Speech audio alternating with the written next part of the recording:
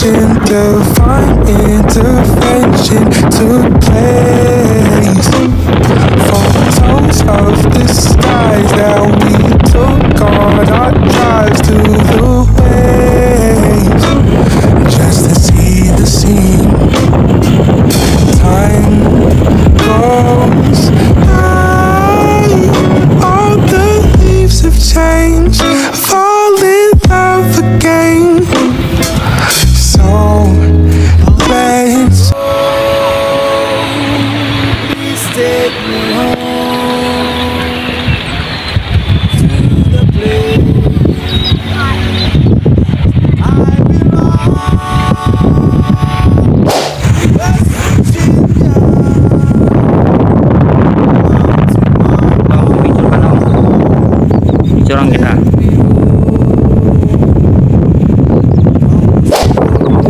What's up mga kawats? Nandito po kami ngayon sa Umingan sa tinatawag po nilang Mini Chocolate Hills po. So kung makikita nyo na naman po yung, yung nasa likod ko po. Ayan, ang lawak-lawak po nito mga kawats. Hindi po itong ikot. So kung mga hapon po kayo magpunta dito. Ayan o. So lahat po yan mga kawats na nakikita nyo po kung gaano po malawak yan. Lahat po yan. Yo, what's up mga kawats? So, papakita ko po sa inyo mga kawats. Meron po ditong lawa po. Nakatago lang po ito mga kawats. Nasa gitna talaga siya nitong bundok po na to. So, kung makikita niyo po mga kawats, yan po. Sa likod ko po mga kawats.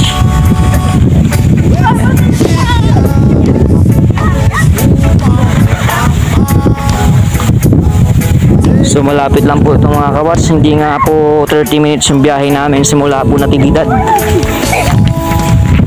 So isa rin po itong mga kawats sa tourist attraction po dito sa Pangasinan po.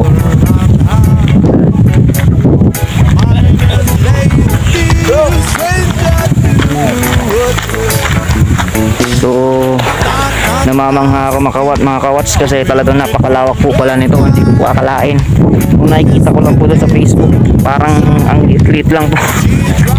Tapos nung napuntahan ko na po dito ah na-amaze ako ayan po so lakad pa ako ulit mga kawats doon naman sa ibang magandang view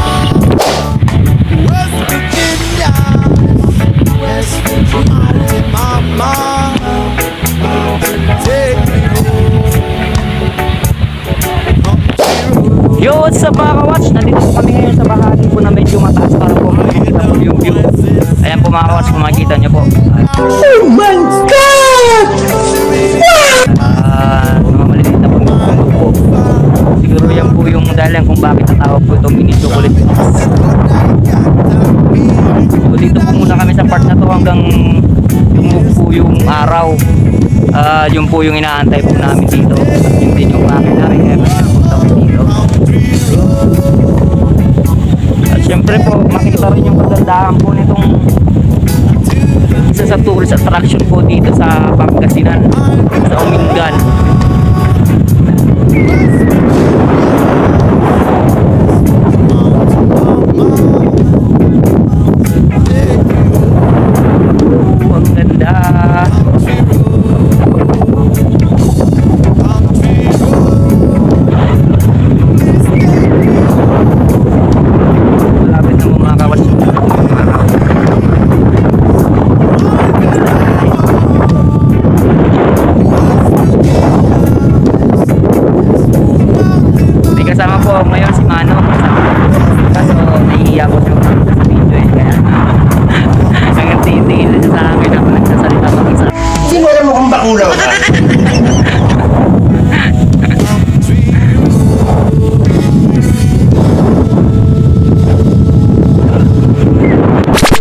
Yo mga kawats.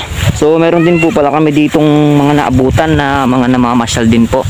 Tapos meron po kami nakita na meron pong nagpo-photoshoot. Siguro po yun magbe-birthday. Yung isa dalagita, yung isa naman po is bata. And dun din sa may taas pa doon, meron din kami nakita doon na may nagpupulan din. Siguro ah, mga nauna-una sa amin na pumunta po dito. Tapos dun sa may taas po na yun, ano, mga kawats, meron po din po doon tao. Actually mga kawats, marami po ditong mga parang kubo-kubo na pwedeng pagsilungan kapag po naiinitan kayo. Tapos halimbawa, yun nga po, pwede ditong mag-picnic. Ayan po, kung makikita nyo mga kawas sa likuran ko. Ayan, mga kubo-kubo. So sabi po ni ate doon sa pinasukan namin sa entrance, i-develop daw po ito ng may-ari para maglagay din ng mga tinda-tindahan. Kapag ka may gusto kayong bilhin or, na, or nakalimutan yung bumili ng baon, at least meron na dito, hindi na lalayo. So pupunta ako ulit doon mga kawats sa mataas na bahagi. Samahan niyo mo kawats. Bahala ka sa buhay mo. Ayan po. Yung kasama ko po isang una po doon. Ayan. So medyo umiwas lang kami ng daan kasi baka isipin nung nagpo-photoshoot eh sinusundan po namin sila. Sarap dito mag-relax mga kawatch. Napakaganda ng view. Sa lahat pong gustong pumunta po dito mga kawatch. Open na po ito in public mga kawatch. Malapit lang po ito kung taga natibidad lang po kayo sa mga karatig na barangay.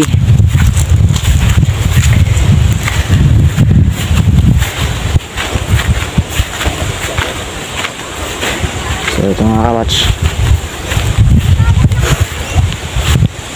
So yun po yung lawa po mga kawatch na medyo kita pa rin po dito. Sabi ko nga po yung lawa po na yun is nakatago. Ayun o. Wala naman pong umaagos dyan as in pabilog lang po talaga siya nasa gitna nitong bundok po na to. Sikat din to mga kawatch, dinadayo to kasi dinadayo talaga lalo mga bikers.